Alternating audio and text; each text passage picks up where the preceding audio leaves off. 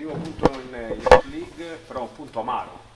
Sì, perché come detto in precedenza abbiamo interpretato la partita in modo, in modo corretto, giusto, l'approccio è stato importante e penso si, si, sia dimostrato anche tecnicamente. Abbiamo sempre tenuto palla noi, loro non sono mai stati pericolosi, poi eh, l'episodio sfortunato capita e, e, ce ne faremo una ragione.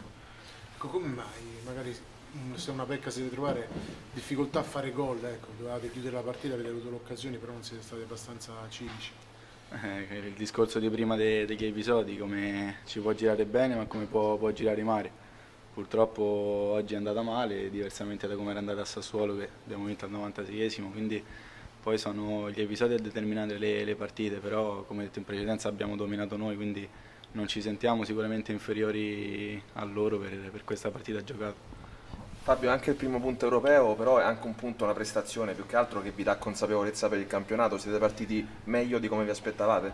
Io hai detto bene te, la partenza è stata, è stata ottimale. Eh, ci siamo parlati prima di, di affrontare questa gara e l'approccio appunto è stato, quello, è stato, quello, richiesto, quindi sotto questo punto di vista non ci, non ci rammanichiamo niente. Poi il fatto di finalizzare qualche occasione in più e di essere più cinici sicuramente quello è un aspetto da, da migliorare. Immagino che ci sia amarezza, no? E volevo capire se già ve l'avete parlato adesso nello spogliatoio, cosa vi siete detti?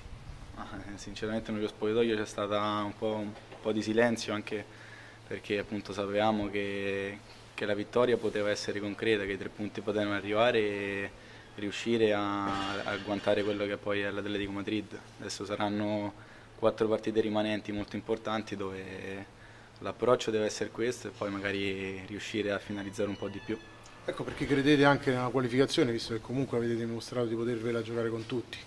Sì, sappiamo che il, il Feyenoord è una squadra molto forte, quindi eh, sicuramente con loro la prossima partita bisogna avere una, un aspetto molto, molto importante. Eh, poi contro, di, contro, il Celtic ma anche contro lo stesso Atletico secondo me ci, ci si può giocare insomma.